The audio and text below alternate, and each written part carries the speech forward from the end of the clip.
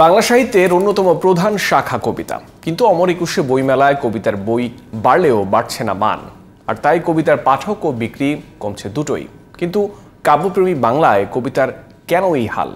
জানার চেষ্টা করেছেন ইসমাইল হোসেন জুয়েল বলা হয়, জীবনে দু এক লাইন কবিতা লেখেননি বা পড়েননি, এমন বাঙালি নাকি খুঁজে পাওয়া দুষ্কর। কাব্য প্রতিভার সেই প্রকাশটা বইমেলায় সবচেয়ে বেশি হবে, সেটিও স্বাভাবিক। হয়তো তাই এবারের বইমেলাতেও আসা নতুন বইয়ের তিন ভাগের এক ভাগই কবিতার দখলে। বই অনেক, কবিতাও অনেক, কিন্তু কবিতার প্রতি আগ্রহটা কি আছে আগের মতো? বিশেষ করে বর্তমান সময়ের তারুণ্যের একটা অংশের মধ্যে কাব্যের প্রতি অনীহা ভালোভাবে দৃশ্যমান। কবিতা পড়েছি আগে যখন ছোট ছিলাম অনেক পড়তাম এখন আর কি পড়া হয় না তো একাডেমিক পড়াই তো শেষ হয় না আর এইগুলা কীভাবে আর কি? না কবিতা তেমন পড়া কবিতা পড়া হয় না উপন্যাসের মতো বেশি পড়া হয়। কবিতায় একটা ভাইব আসে না যেটা সত্যি কথা আমার যেটা লাগে। কবিতা যারা পড়েন তারা বলছেন ঘুরে ফিরে সেই পুরনো এবং জনপ্রিয় কবিরাই ভরসা। নতুন যারা লিখছেন তাদের কাব্য কেন দাগ কাটতে পারছে না পাঠকের হৃদয়ে?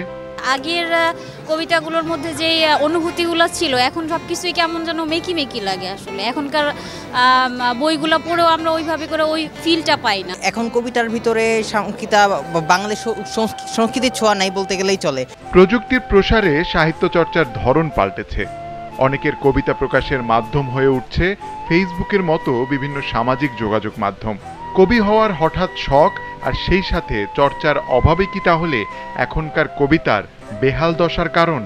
আসল কবি সে যে নিজে নিজে শিখতে পারে প্রশিক্ষণ যে করতে পারে সেলফ এডুকেশন যার আছে, এটা করতে হলে কী হবে? কবিতার যে কলাকৌশল সেটাকে জানতে হবে, ছন্দ জানতে হবে। আমি ছন্দ মানিবে না মানি সেটা পরের কথা।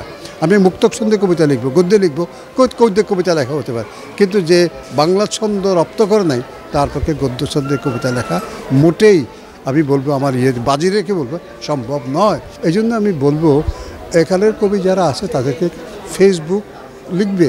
ফেসবুক থেকে দূরে সরে গিয়ে একটু লেখাপড়া করতে হবে। শুধুমাত্র কবিতা নয়, যথাযথ চর্চার মাধ্যমে সমসাময়িক সাহিত্যেরই গুণগত মান ঠিক না রাখতে পারলে বইমেলার আসল উদ্দেশ্যই ব্যর্থ হবে বলে মনে করেন লেখক, পাঠক ও প্রকাশকরা। Ismail Hossain Jewel GTV news, Dhaka.